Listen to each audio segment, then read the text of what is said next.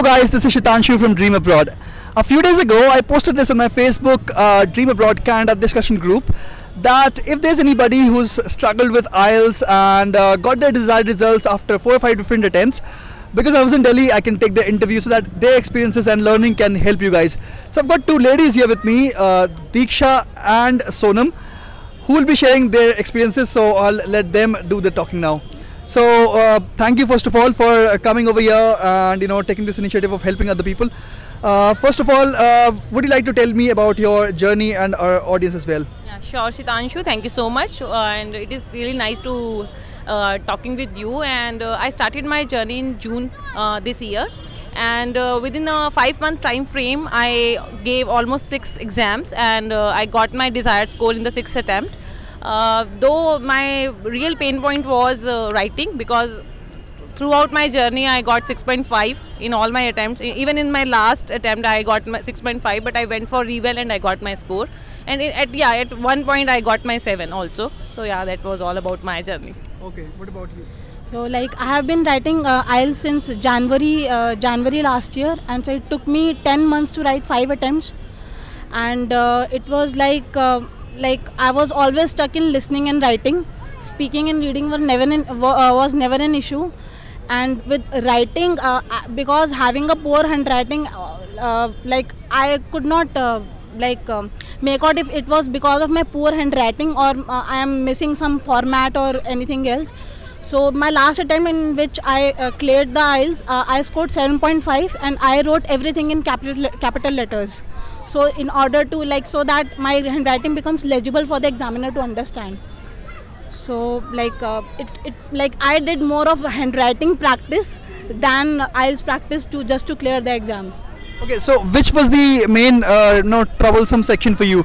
Was it uh, like uh, you know writing or reading or listening, whichever? For me it was writing because uh, though reading is kind of uh, my strength i can say and same with the speaking also i am very much comfortable but for uh, writing uh, initially i had uh, challenges with my subject verb agreement and the articles one. So these two areas which i uh, learnt a lot during this journey because somehow though i am working in it from last 10 years but somehow i really don't mind to have those errors in my writing. So for uh, writing standpoint yes i learnt a lot and i practiced a lot i wrote almost 150 essays uh, within this 5 month time frame Okay. 150 essays. 150 essays So uh, probably this is the amount of practice if uh, you need to do uh, if you're not getting your desired results. Okay, what about you? So like uh, my uh, problems were listening and writing. Initially, I could never ever score even uh, like uh, beyond eight, even in the practice test. But like uh, with time, I realized that para- uh, they paraphrase everything a lot, and uh, that's the reason I was losing on out on MCQs. So instead of just listening the recording, we have to understand and memorize uh, at every at every step. I struggled with listening a lot so the uh, problem was that i was i used to just listen to the recording instead of understanding and memorizing it so i even practiced CELPIP because of ielts fever so after practicing CELPIP sem- CELPIP is actually memory based exam more of a you know like uh, like its listening is more of memory based Okay, so have you appeared for CELPIP as well? I haven't appeared for CELPIP. I was just uh, like going through the sample test. While uh, going through the sample test of CELPIP, I realized that uh, like in in CELPIP sample, what happens is first we listen to the recording. Then after the recording, uh, then uh, after the recording, the exam, uh, the questions comes up. So you have to memorize everything. Like you have to observe each and everything with you know like minute detail. So uh, in order to answer the questions so that trick helped me in IELTS as well. I'm love like I used to listen with full focus. Also, whenever they give time to you know like um, you have now 30 seconds to uh, check your answers. In those 30 seconds, we should utilize it for the next section rather than checking the answers for the previous section. So that helped me in listening a lot, and like um, I finally scored from CLB 8 to I've scored CLB 10. Like I had a CLB 10 jump in three months.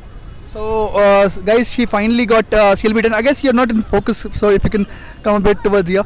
Yeah. So uh, the other question is, uh, have you guys tried the IDP and British Council, both of them?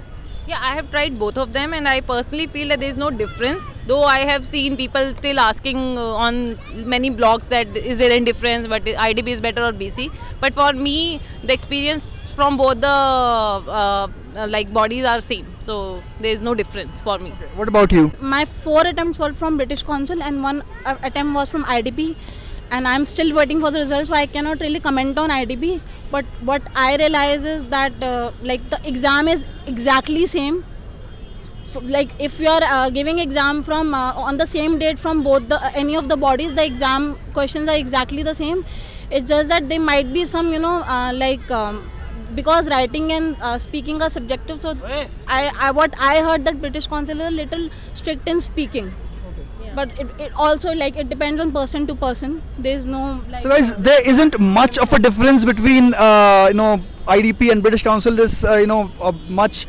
Uh, this is actually one of the biggest uh, questions that people ask. That you know what is the difference between uh, IDP and British Council. I also made a video on it. If you want, I'll provide the link in the description box.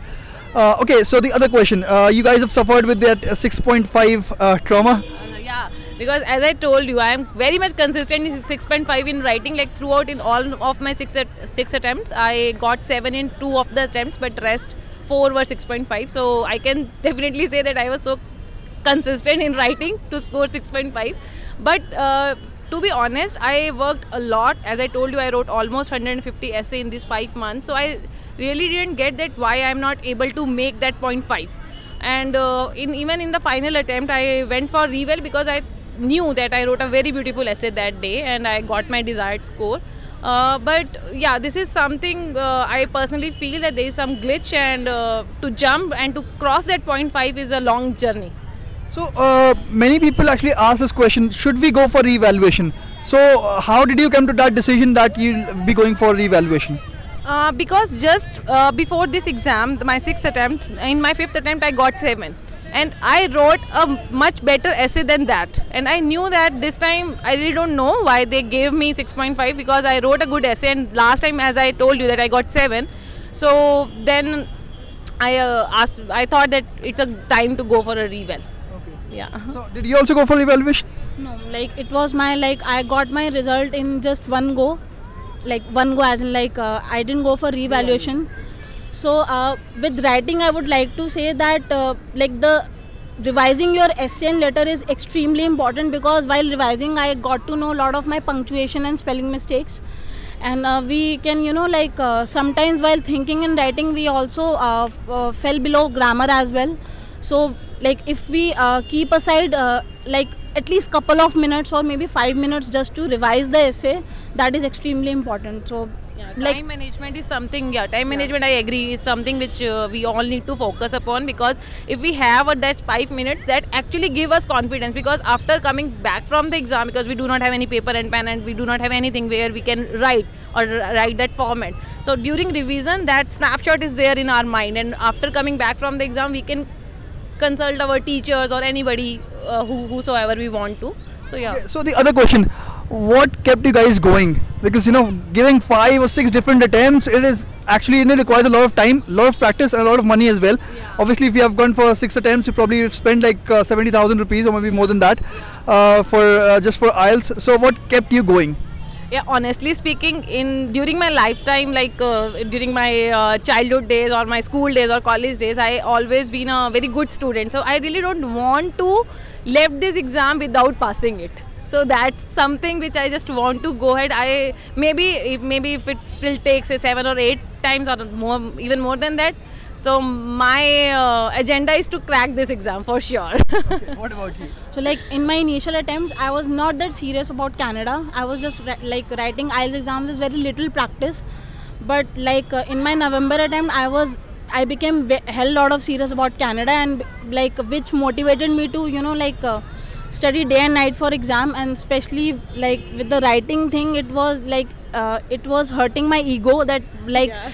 so many people i know having a little uh, wh- what i used to believe that they are not having very good uh, like english and they like score 7 in just one go.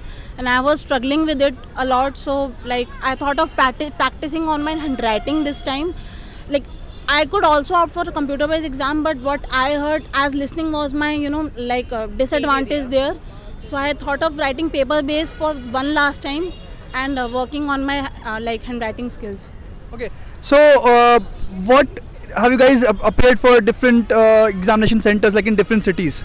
Yeah, I applied from Metro City, like I belong to Gurgaon, and uh, I gave my exam twice from Gurgaon, and rest of the time I gave my exam from Bhatinda, Punjab. So, uh, sorry to interrupt you. Do you guys actually believe that uh, no, this is a factor in deciding uh, your desired bands? That if you actually go somewhere, you know, in the uh, two or three tier city uh, towards maybe Punjab or maybe towards, you know, UP or Bihar, somewhere where uh, English is not so popular among people. So, uh, towards, I mean, do you feel that will that actually make a difference, or you know, for our viewers, and has that made a difference for you as well? Yeah, for me, I can say that there is a difference in speaking, especially uh, because I, as I told you, I give, gave my exam from Gurgaon twice, and and both the attempts I secured seven, and uh, from Punjab I always uh, got eight. So yeah, that's a difference, and probably that's a difference because the human intervention in the speaking exam, and where wherever we have a human intervention, there is a uh, kind of uh, pre-assumptions. So while we start our examination, so they also have some pre-assumption for that person, that uh, particular participant who are there to participate or to give their interviews, right?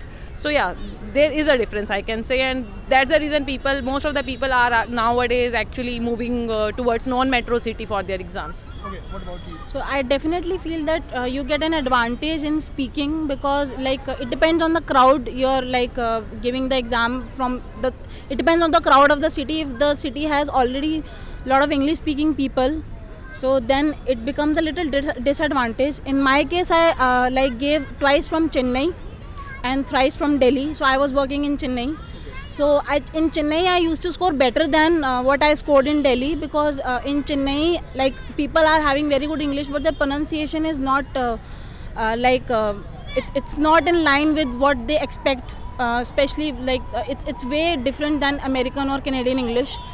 So yeah, like I used to score better in Chennai than Delhi. Like it it helped me a lot. Okay, so the last question. Uh, what would be your advice for the people who are actually, you know, uh, going for the first attempt, maybe, or maybe uh, they are stuck at 6.5 and they're kind of giving up?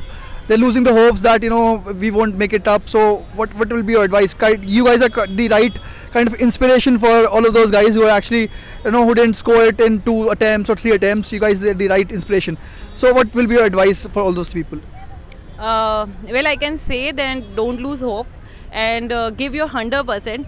First of all, this is not a luck exam. Uh, you can, yeah, probably there is a destiny for sure.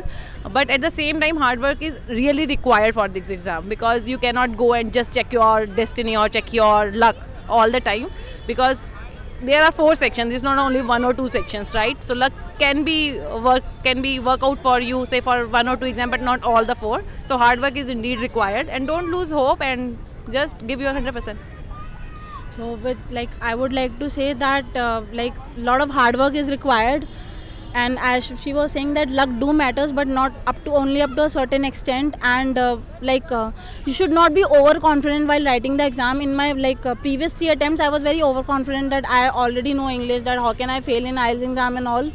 but like uh, because of my like uh, you know like consistent failures, I have actually studied for my last attempt seriously for uh, like around uh, two, two months and then i was able to achieve the score so it's not a like rocket scientist like you can uh, uh, you can uh, like you can clear the exam.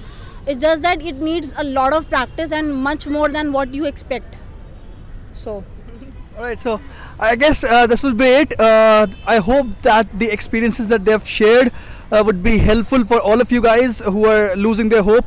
Yes, this uh, scoring 6.5 in any one of the sections is a problem, but there's nothing much. There's actually not much that we can do about it.